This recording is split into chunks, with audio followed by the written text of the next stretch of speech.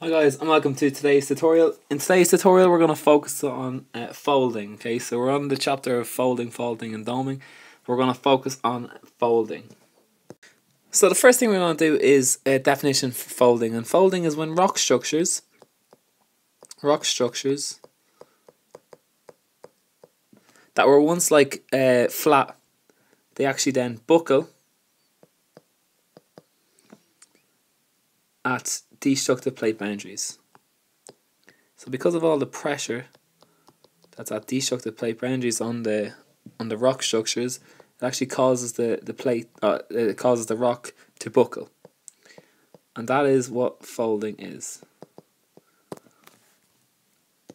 One thing to note that is that most folding is caused uh, caused by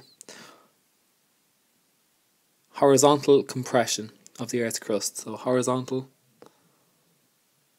horizontal compression.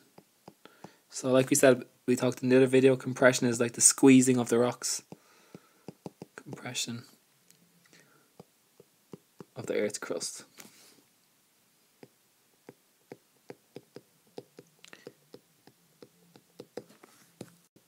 Uh, key thing to note that is um, Large scale folding is responsible for the highest mountains in the world, so which the mountain range, the Himalayas. We've got Mount Everest. They were caused to uplift uh, because of the com horizontal compression, and they uplifted as the Indian plate converged with the Eurasian plate, and then forms the Himalayas, which we have uh, Mount Everest, being the highest mountain in the world.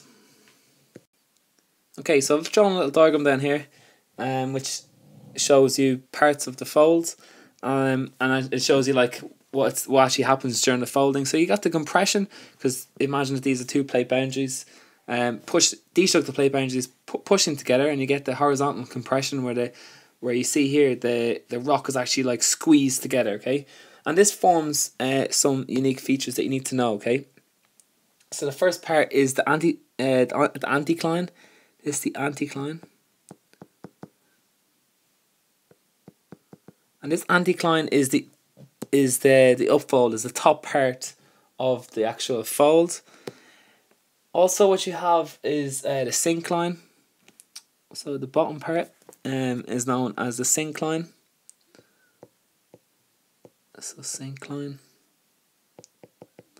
And that's the that's a downward um like fold. So it's the right at the bottom. It's a downward fold or the, the hollow in between the the anticlines. So here again, would that would be another uh, syncline. And then in between that, what you have at this point here, at this point here is known as the limb. Okay, so just that point there. Okay, so the limb is, is this point here, and it'd be that point there, and it'd be that point here. So it's the side of the fold. And they're just important uh, parts of the folds of the folding that you need to actually know, okay? One thing to note is the effects of this actual, actual folding from uh, on destructive plate boundaries depend on two things. The first one is the force. So the more force that's exerted on the on the rocks, uh, the the more folding that will take place. And the second one, the second thing, is uh, the characteristics of the rocks. So I'll just say characteristics.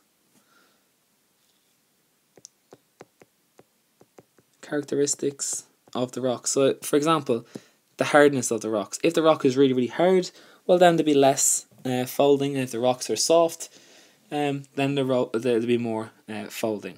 So they're just two what actually affects the folds. So it does actually depend on these two characters: the force, the intensity of the folding, and the characteristics of the rocks.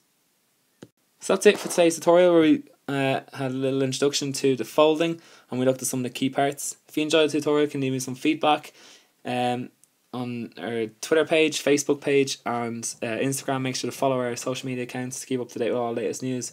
And check out more of our videos on our website, examrevision.ie. Thanks, guys.